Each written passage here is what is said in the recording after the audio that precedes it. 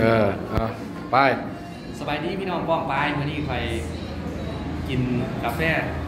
มาหานกาแฟว่าจะกินกาแฟแต่ว่าไปกินชาเขียว ชาเขียวหมักหน้าวพี่น้อง ชาเขียวมะนาวอยู่นี่เลยร้าน Live Coffee ครับร้าน Live Coffee at Home อยู่สายอยู่สุรินทร์ครับอยู่จังหวัดสุรินทร์นะครับก็บรรยากาศร้านเขาก็บรรยากาศดีครับกาแฟกาแฟก็อร่อย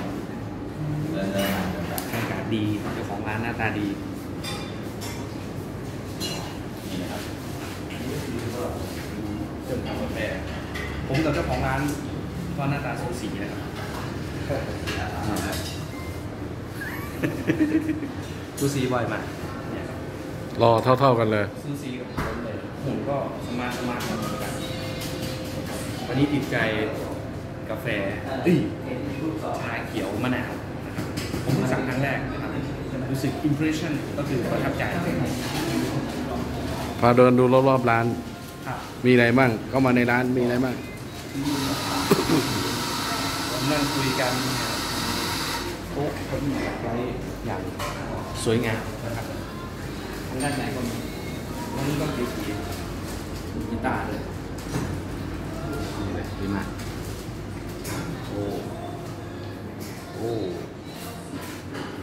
ที่นั่งก็จัดแบบ new normal นะครับ new normal วิถีใหม่